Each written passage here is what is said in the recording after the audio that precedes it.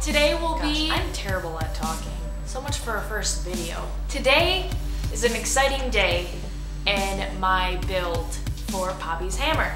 Behind me is the mold. This project has been months in the making. Honestly, I've been working on this for a really long time.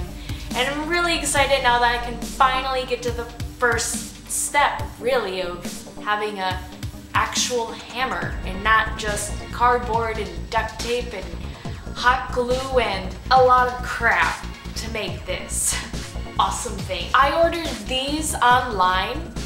Um, it's two-part polyurethane pour foam and it came in within five days. I ordered it on a Monday and it came in on a Friday. So it was really great. Basically, you mix the two together and they start to react after 30 seconds or so and then they'll start expanding. But before then, before it starts to expand, I have to quick pour it into the mold and then it will take about seven minutes or so for it to expand to its highest peak, really. And then we wait until it is hardened and cured. And then we can pry this cardboard off and see how it turned out. Uh, this is where the mixing and science.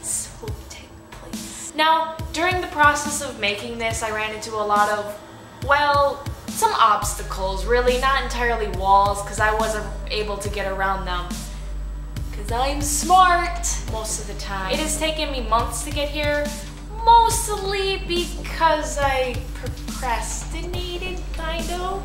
This video will be one of many videos to come of the building of Poppy's hammer. My Poppy's hammer, to be specific. And I'm really excited for the uh, finished product, which is going to be a really long time. Because it's taken me seven months just to get this far. I can't imagine how long it's gonna take me to, well, finish the damn thing. Well, less of me talking, let's get to the making of this hammer. Or the foam, really.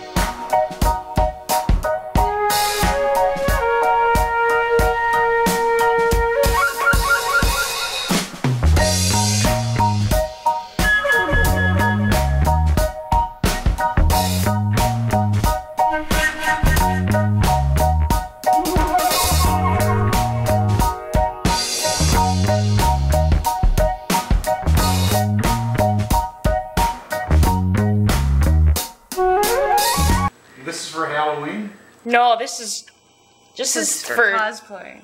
For what? It's just for, it's for, Tell me the truth. You're lying. I don't know how to explain it. It's like Halloween, but it's celebrated on more than Halloween. Yes. That's the end of this part. I'll see you next time.